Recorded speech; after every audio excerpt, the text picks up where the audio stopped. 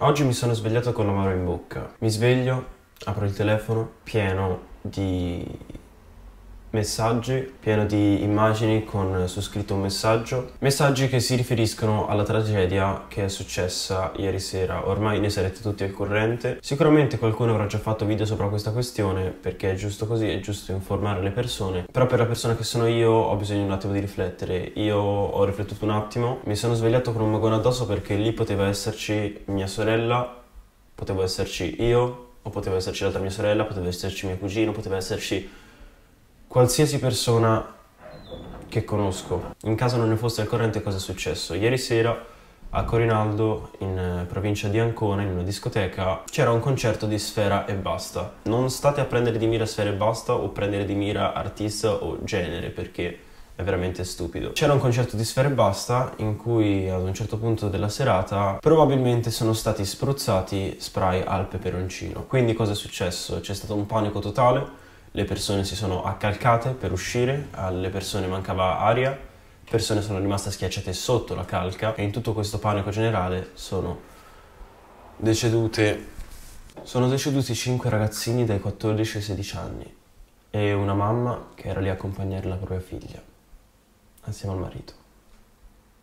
Io non ce la fa veramente, io sono incredulo. In questo momento, raga, io ho i brividi, ma ho i brividi veramente pesanti e non sono bei brividi, cioè sono veramente brividi veramente pesanti. Questo è un argomento che mi tocca particolarmente, perché questo? Perché io ho girato tantissime discoteche, ne ho girate veramente tante, troppe troppe, ad età anche abbastanza precoce. Qualche anno fa ho deciso di smettere di andare in discoteca, nel senso ci vado realmente molto di rado e se ci vado ci vado realmente per poco tempo. Perché semplicemente quando ci andavo succedeva sempre qualcosa, o una mini rissa, o una spintonata, o quello che ce l'ha con te a casa, o quello che rompe i coglioni, o quello che sta addosso, o quello che rompe il cazzo alle tipe, o quello che parte una scazzatata e colpisce una persona involontariamente questa persona si fa male. Da ormai un po' di anni non sto girando discoteche e quando ci giro mi succede sempre schifo. Un po' perché sono conosciuto, un po' perché sono sfigato e un po' perché mi ritrovo sempre nel mezzo quando non mi voglio mai ritrovare nel mezzo nelle cose. Io sono una persona contro totalmente qualsiasi tipo di violenza e più sei in questo modo più ti ritrovi dentro queste cose. E quindi questa è una cosa che mi tocca particolarmente perché io ho deciso dopo anni di schifo che ho visto, ho deciso di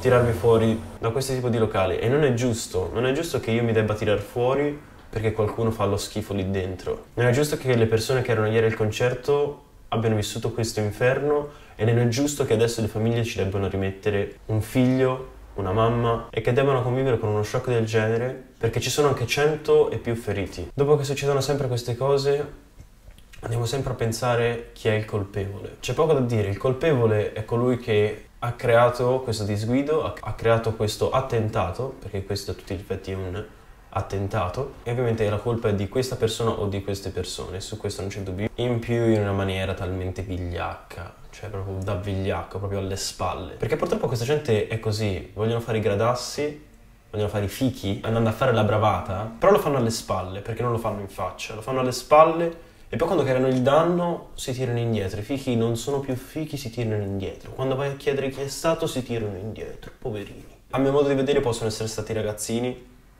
gente che voleva rubare, perché siamo arrivati a questo. Si spruzza lo spray al peperoncino per rubare nei locali. Cioè quando le persone sono in panico, te vai pure a rubare, vai a fare la beffa. Proprio vigliacchi. Se vuoi fare il grosso, il gradasso che ha fatto la bravata, bene, fallo. Ma perché poi ci si tira indietro quando vai a chiedere chi è stato. Prima si fa la cosa, ci si fa la risata, si ride ah, ah e poi il culo stringe. E queste cose qua vengono sempre fatte in modo vigliacco e alle spalle. Perché state tranquilli, una cosa del genere in faccia non la fa mai. Mai. Che i ragazzi di oggi nascano con un'educazione, a parer mio, diversa rispetto a quella che abbiamo avuto noi o chi ha avuto prima, sono d'accordissimo. Però ci sono anche tanti ragazzi genuini che volevano semplicemente godersi un concerto, in compagnia del proprio idolo. A me queste cose creano rabbia, ma soprattutto delusione. La misantropia probabilmente è la prima cosa se mi dovessi descrivere. Però ci rimango lo stesso deluso. Rimango lo stesso deluso da, da questi avvenimenti. È incredibile.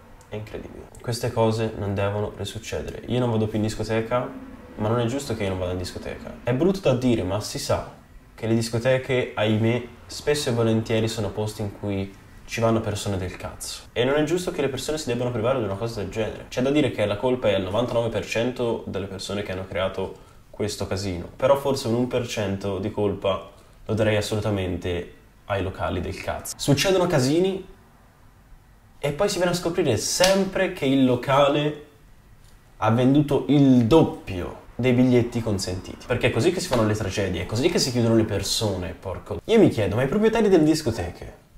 Io capisco che i soldi sono la prima cosa per tutti, per tutti. E dici, ah vabbè, ma non ci sarà mai un cazzo. Ma qualsiasi cosa succede, qualsiasi, anche se uno butta una bottiglietta d'acqua e crea panico, minchia, ma non ci pensi. È vero che le norme sulle discoteche sono estreme, mezzi locali sarebbero completamente vuoti se dovessero seguire le, le norme e probabilmente ci rimetterebbero. Però cazzo, tienili le vie di uscita, tienili butta fuori. Se puoi permetterti nel tuo locale di far entrare 800 persone, non ne puoi far entrare 1400. E questa è un'altra cosa che ho sempre odiato, l'ho sempre odiata nelle discoteche. Questo è uno dei motivi per cui io ho smesso di frequentare questi posti. Vi invito a sfruttare questa giornata per riflettere, vi invito a riflettere su questo accaduto, vi invito a riflettere sul fatto che potevate esserci voi e prendete questo giorno come una giornata di lutto. Questa è una tragedia e non meritano soprattutto di essere dimenticati i ragazzi che sono deceduti.